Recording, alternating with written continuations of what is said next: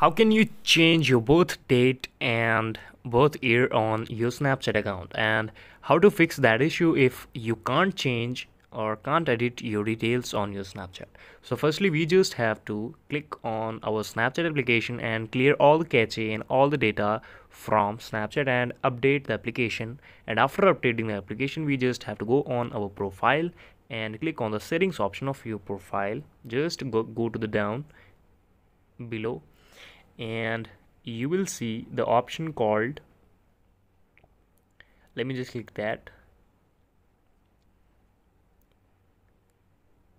There is an option called both day. You can see on the third just click on it and you can change your birthday from here and just save that. So the issue is uh, if you can't change your birth date you just have to download or update your a snapchat version update to the latest version and clear all the cache and all the data from the application so it will can restart soon. Thank you